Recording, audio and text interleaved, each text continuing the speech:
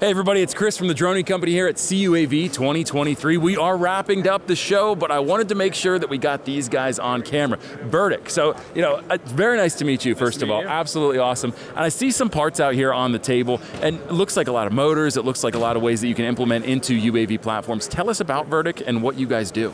Yeah, sure. So we're Vertiq. We make high performance propulsion systems for uh, small drones, so anything under 55 pounds at the moment. Gotcha, so okay. specifically, what we do is we integrate a motor and motor controller together, and we put a position sensor inside that package. Very cool. So as the motor's spinning, we know its exact position, and when you know that position information, you can do a lot of really interesting calibration and control techniques to optimize the motor's performance. Okay. Um, so that means you can be more efficient, more powerful, faster to respond, and we have a bunch of uh, safety protocols to make the vehicle more reliable. Sure, that's awesome. Now, you, you talk about smaller UAVs under 55 pounds. You know, what are some use cases? What are some manners that you've used some of your, your motors and, you know, areas that they've been used in the UAV industry?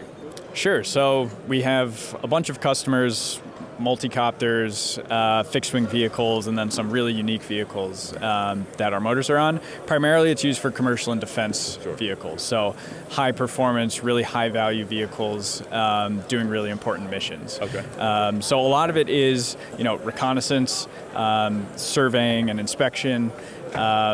Mapping and delivery. Okay, gotcha. Now, I know a lot of people, including our very own Sam Karp, uh, likes to build their drones from the ground up. Sure. If somebody is looking to build their own custom UAV platform, uh, would your motors be able to be integrated into that system, and how would that happen?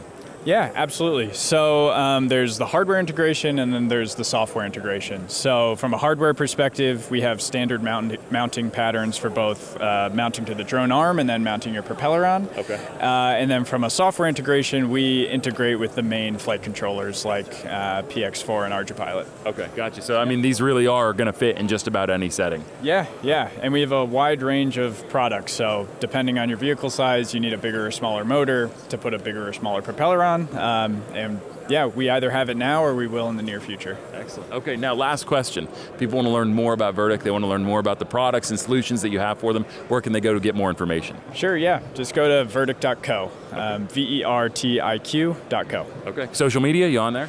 Uh, yes, well, LinkedIn platform Okay. is our main uh, source of social media. So, okay, gotcha. yeah. That counts. That Yeah, counts. it does. So, all right. Hey, thank you so much Yeah, for your time. you. Really Appreciate appreciate it. it. Thank you so much. Awesome.